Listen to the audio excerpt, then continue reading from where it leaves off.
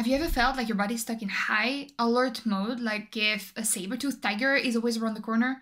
Stick around to discover how I turned off that ancient alarm system and so you can do it too.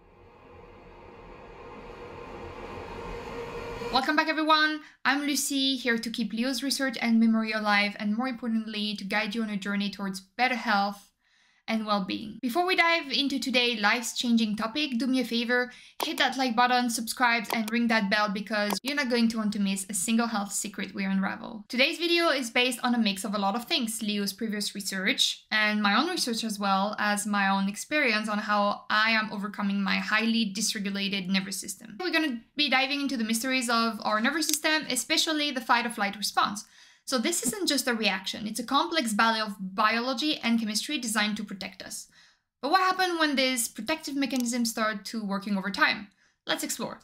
First, imagine facing the saber-toothed tiger. Your body instantly gears up for a life or death decision. This is the fight or flight. Adrenaline and cortisol flood into your system, increasing your heart rate, sharpening your senses, and preparing your muscles for action. so in the modern world, though, our tigers are often deadline, social pressure, or sometimes even overflowing inbox. Acute fight or flight response are just vital for survival. They're your body's rapid response to immediate threats, and a temporary states enabling us for quick action. But the problem arises when these states become chronic. Chronic activation, being in perpetually fight or flight mode, is like having an alarm that never turns off. It's exhausted, it can lead to a myriad of health issues, anxiety, and also heart disease. Now let's consider the impact of childhood trauma. Early life stress, can it be emotional, physical, or otherwise, can rewire the brain, setting a higher baseline for, the fight, for this fight or flight response. It's like calibrating your system to perceive threats more readily, keeping you in a constant state of high alert. What does being in this overdriven state looks like in everyday life? It's more than just feeling stress. It's overplanning, having backup plans for your backup plans. It's reacting intensely to very minor stressors, feeling overwhelmed by regular activities. The mmm of the refrigerator feels like torture, or when eating quickly isn't just a habit, but a necessity because your body is ready to move on the next threat. Other signs of fight or flight response include rapid speech, uh, a tendency to overthink during your downtime, loss of perspective, or even like entering a freeze states when you have so much to do but it feels like impossible to even start. So all of these are just basic classic indicator that your nervous system is stuck on overdrive. Breaking free from this cycle, especially when rooted in childhood trauma, isn't just about your symptoms management, it's about rewiring and retraining your entire nervous system. So what happens when someone is constantly in this survival mode? Well, their body is always on high alert, which can be mentally and physically draining. And they also might experience chronic anxiety, have difficulty sleeping, or constantly feel on edge. It's a very tough cycle to break, especially when it's rooted in childhood experiences. In my opinion, recognizing the sign of being in survival mode is absolutely crucial. This includes like heightened vigilance, a tendency to overreact, difficulty relaxing, difficulty of feeling safe, or even having like some physical symptoms like chronic fatigue or digestive issues.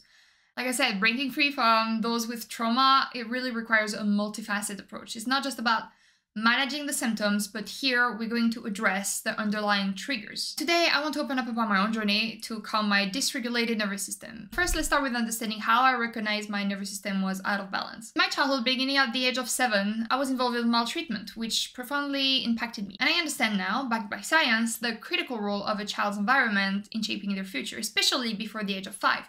And I'm somewhat grateful that I didn't experience any trauma before five. Leo did, and I know that was one of the main reasons of all his struggles. By the time I was 10, I had to become the responsible adult in my household. My mother, confined in a wheelchair after being in the hospital for a little bit, and as well as my younger sister, they all depended on me. So I had to juggle the household responsibility, my mother's cares, and more importantly, or the more impactful thing, was the constant effort to try to anticipate her needs to avoid being mistreated. This experience programmed my brain to always plan for every eventuality, prioritizing others' needs, and be perpetually on alert. For years, I assumed that this was normal, and I was never fully realizing how my childhood trauma was influencing me in my life. It was only after becoming a mother and facing significant challenges in my marriage, like you all know, followed by a burnout that I was compelled to confront my past. And I know children mimic everything, and having had a challenging mother, I was strongly determined to be the opposite of what she was. So I thought, like, talk therapy, hypnotherapy, and other holistic therapy to work through my traumas. And this process was truly eye opening. I really saw how my adult behavior were mostly dictated by my past, living in constant fear and in fight or flight mode. My actions were often about alleviating fear, even when they weren't beneficial for me. So our brain gravitates towards what's familiar seeking safety even when it's unhealthy. Another very interesting sign that I was in high fight or flight was my inability to lose weight. Despite eating healthy and working out, I always struggled to lose weight. Even Leo was like baffled by what I was eating daily and not understanding why I shouldn't shed my unwanted pounds despite my effort. He didn't care about them, it was just me and my self conscious. But luckily, over the last two years, I've made tremendous progress in rewiring my brain response pattern. I've experimented with various protocol and methods constantly learning and adapting. So this journey hasn't been easy and there have been a lot of setbacks, but it's been very transformative. Right now, I've lost 20 pounds in the last five months, yoo And I'm now focusing really on my stress response and con continuing to work on managing my fight or flight reactions. So as we discuss the fight or flight response and delve into my story, I'm gonna share with you some tools and techniques that have helped me find balance. And at the end of the video, I will provide a detailed practical protocol that you can implement in your life. If I can make this changing as a working single mom, I believe anyone can. And it's about taking the first steps towards a healthier, calmer you. The first pivotal changes in my journey was transforming my diet. The food we consume play an instrumental role in how body responds to stress. I transitioned to a low inflammatory diet, which is really effective in reducing the production of stress hormones and calming the nervous system. Known for their calming properties, so for instance, magnesium, which found in leafy greens, nuts, and seeds, play a role in regulating our nervous system. And it helps reduce the stress response by acting on the hypothalamic pituitary adrenal axis, the central stress response system. Then we also have the omega 3 fatty acids, which is another cornerstone of my diet. It's essential for brain health and managing inflammation. You can find it in uh, fatty fish like salmon, mackerel, and sardine, but it's not just about what you add, it's also about what you need to avoid. So, avoiding processed food, high sugar, unhealthy fats can exacerbate inflammation and disrupt the balance of your nervous system. Incorporating anti-inflammatory food like turmeric, ginger, and berries alongside magnesium and omega-3 rich food can create a very powerful synergy. And this dietary approach not only aid in redu reducing inflammation, but also support overall mental health and resilience against stress. In managing dysregulated nervous system, Supplements can play a vital role, but it's also crucial to approach them with awareness and balance. So let's talk about what works and what to be cautious about. First, we have the famous ashwagandha. It's a very popular herb in Ayurvedic medicines. It became very popular in our modern world, and it's because it's known for its stress relieving property. However, I've chosen to avoid it due to potential concerns regarding liver toxicity. Instead, I've turned to supplements that have a more established safety profile and are known to support the nervous system health. Magnesium, like I talked before, I supplement with regularly. That helps with the nerve functions. It also acts as a natural calcium blocker, which is helping muscle relax and reducing the fight or flight response. Another group of supplements I rely on are the B vitamins, and they're crucial for maintaining optimal neurological and psychological health. So, for example, vitamin B6 helps with the production of neurotransmitter like serotonin and dopamine, which are vital for mood regulation and stress management. And I want to remind everybody that supplements should be a complement and not replace a balanced diet. It's part of the broader strategy of managing stress and support nervous health system. For everyone considering supplements, please consult with a healthcare professional because I'm not a medical doctor and they can help find a regimen that suited for you. As part of my journey to regulate my nervous system, I made a significant lifestyle change that's going to be controversial. I quit caffeine. Now, it was not a small part. I drank two coffee a day, and it was really part of my daily routine. I love the taste, but I think it was a necessary step for me. While caffeine has a lot of benefits, it can also exacerbate stress response. And this effect is not just about feeling jittery after a cup of coffee, it's about how coffee interacts with our body on a deeper physiological level. Research suggests that caffeine can reinforce the vascular inflammatory response during mental stress. And this is crucial because these inflammatory responses are just part of our fight or flight mechanism. Let's look into the mechanism. So coffee consumption, especially over the long term, have been associated with increased level of inflammatory marker like interleukin 6 and C-reactive protein. This is important because those markers play a role in our body's stress response system. By cutting out caffeine, I was aiming to reduce this inflammatory response, thereby helping to manage my anxiety level and calm my fight or flight response. For those of us with a history of childhood trauma, and I include myself in this group, our baseline for fight or flight is often skewed higher. This means we're more likely to experience chronic activation of our fight or flight response. So reducing any potential trigger like caffeine become even more critical. Now another aspect of my journey to rebalance my nervous system has been regular exercise. But let's clear a misconception first. When I say exercise, I'm not just talking about high intensity workout that leaves you completely breathless. The truth is, even moderation activity like brisk walk, cycling, or yoga can have profound effects on your mental well being and stress levels. Why is exercise so beneficial for stress management? So, when we engage in physical activities, our body releases endorphin, those are the natural mood lifter. They act as analgesic, which means they diminish the perception of pain, and they also serve as sedatives. It's not just about the endorphin. Exercise also helps regulate the production of stress hormone like cortisol and adrenaline. Regular physical exercise improve your body's ability to respond to stress. It's like tuning a fine instrument. Exercise helps you handle stress more efficiently. By maintaining a constant exercise routine, you can enhance your resilience to stressors, reduce your symptoms of anxiety and depression, and improve your overall mood. This is not new, everybody kind of know that, but sometimes we don't do it.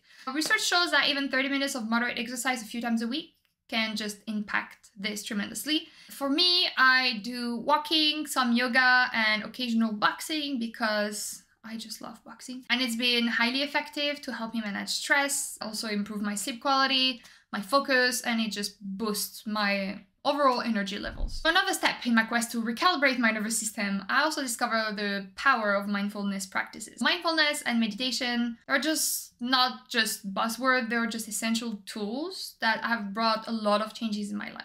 Meditation in particular has been a game changer. I had a very hard time to get into meditation until I discovered the Muse headband to guide my sessions and providing me real-time feedback on my brain activity to help me achieve deeper level of focus and relaxation.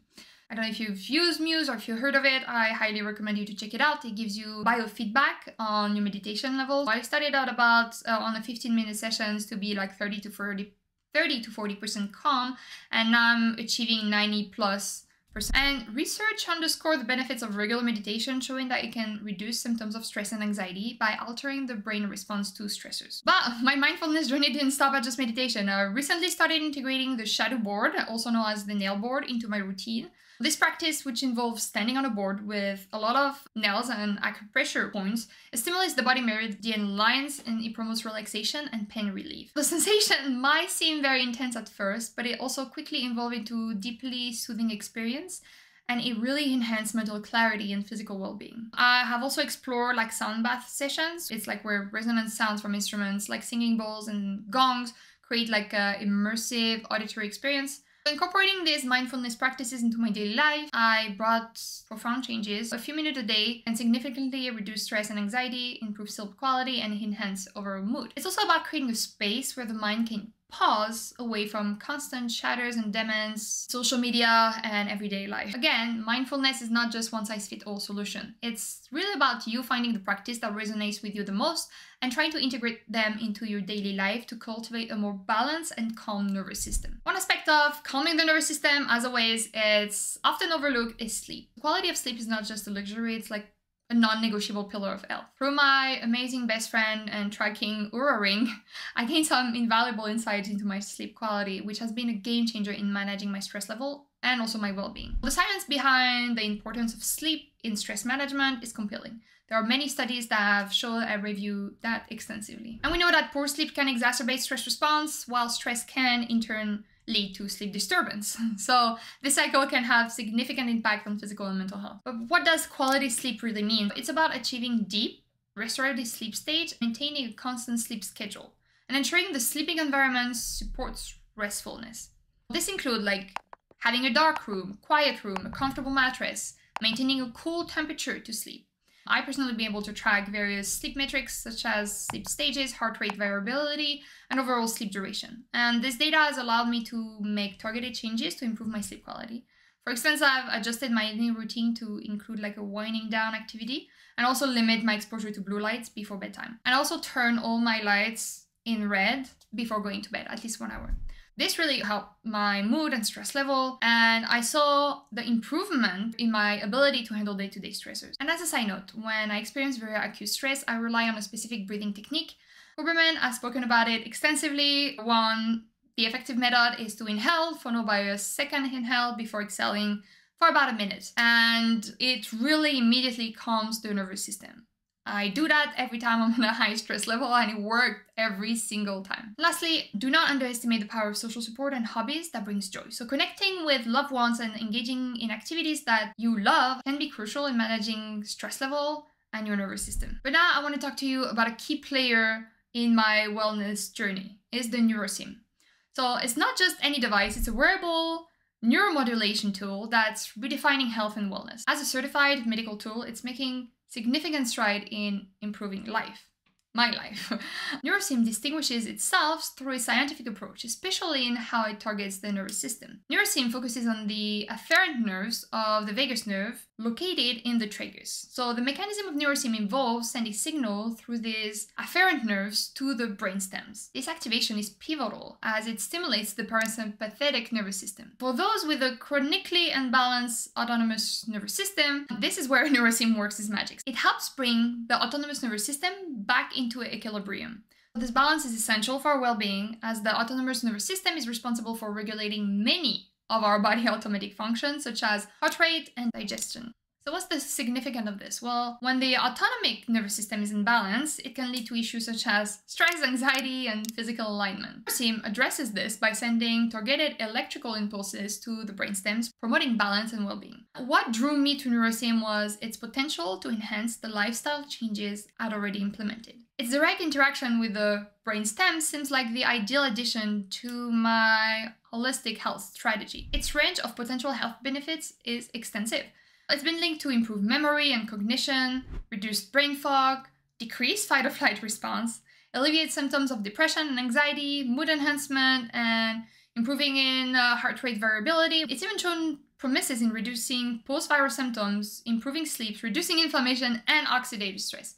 And some users also reported improved gut issues. Nurosym serves as a powerful biohacking tool. Ongoing research suggests that it could positively impact athletic performance and muscle recovery. So it works through various mechanisms, promoting the rest and digest response, inhibiting pro-inflammatory cytokines, decreasing oxidative stress, and fostering neuroplasticity. I've been integrating Nurosym into my daily routine and it has been transformative. It improved my energy levels, my mood, eh, my overall health, and it's very easy to fit into my lifestyle changes. Well, like Chemical interventions might offer similar benefits, it's not without side effects, so I've choosing a path that avoided altering my brain chemistry excessively. This decision is particularly relevant for me because I am sensitive to hormonal and chemical changes, and I think it's a trait that many women can relate. Therefore, a wearable neuromodulator like Nurosym is an optional choice for me. Remember, biohacking is a personal journey, it's not one size fit all. Always consult with medical professional if you're considering a similar path. I have made all the lifestyle changes I mentioned before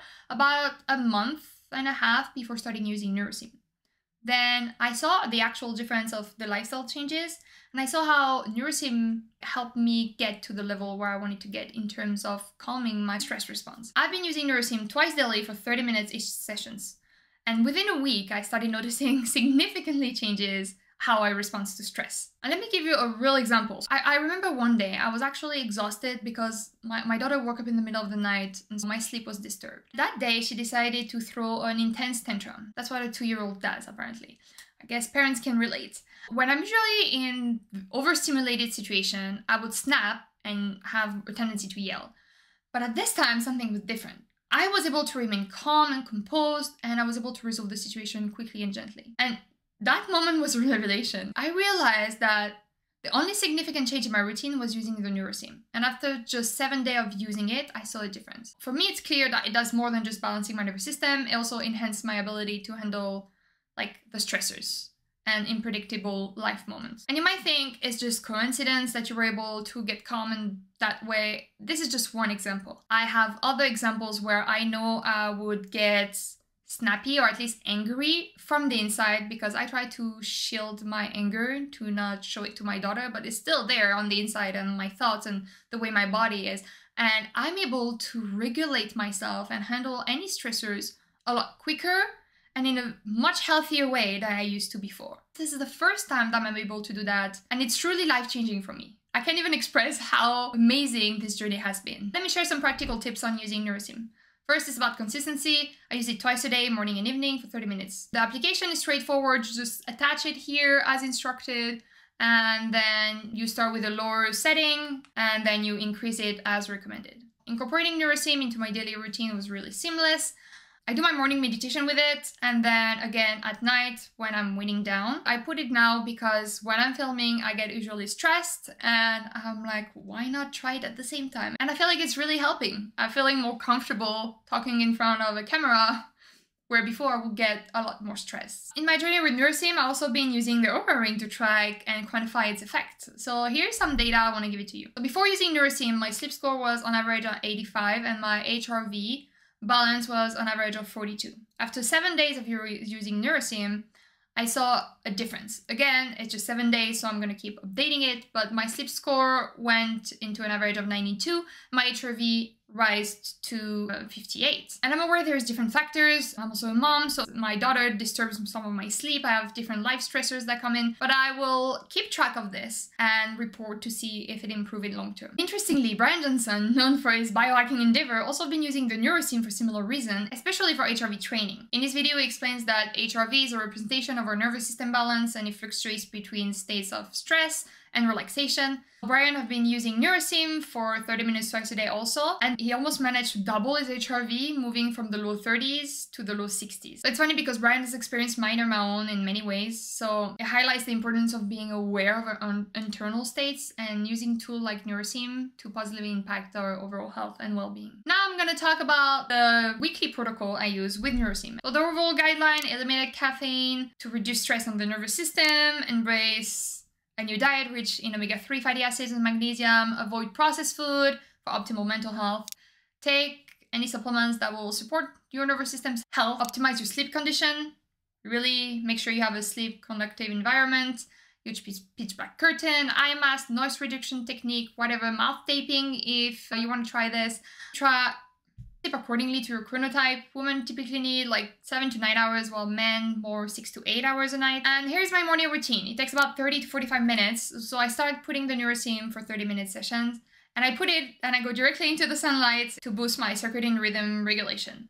Then I step on my Sadhu board three times a week during 15 minutes of that session. So I'm outside in my balcony. I put the Nurosym, I step on my Sadhu board doing breathing because you need to do a lot of breathing while being on the Sadhu board. I stay on the Sadhu board for 10 to 15 minutes, depending of the day. Then I step back and I finish my 10-15 minutes of Nurosym while doing other thing at home. Next, four times a week after my Nurosym sessions, I do a three minutes ice bath. If I don't have time to make an ice bath, I just put my face into a bowl of ice water for the same duration. Talk about the benefits of cold exposure and ice bath, but it will be probably another video that will give you more details on it. But this is the protocol I'm using right now. Then I do 30 minutes of physical exercise, like walking three to four times a week to boost circulation and mood. My night routine takes about 6, 30 to 60 minutes. So I put back the Nurosym for 30 minute sessions. I do my meditation and journaling. So I usually do 15 minutes of meditation followed by 15 minutes of journaling to track my feeling, emotions. And then I try to have at least two social or hobby-based activity per week to support my emotional well-being. And also twice a week, I incorporate a 30 minute sauna session. So for men, consider using an ice pack on your genital area during the sauna for added benefits and not lowering your testosterone. Another thing that I started doing is emotional identification. So during moment of stress, I pause and try to identify and describe my emotion to try to process them faster. And I use the breathing technique, a double inhale followed by a single exhale method to calm my nervous system. So if you found this dive into a fight or flight response and nervous system and lightning, hit that follow button and share with someone that you think might benefit from it. Please let me know below if you have tried this, if you are looking to try this, or with any question you might have. The Nurosym, they actually offer a 30-day risk-free trial, so I recommended you try it. They also gave me a promo code to give you a discount, so if you're interested, it will be down below. Like I said, you have the choice of regulating your own nervous system and stop being in the constant fight or flight response. And it all starts with changes that you can make in your daily life. This is just an added tool that help boost it and I think made the result come quicker. Thank you for sticking with me until the end. Until next time, stay curious and stay well.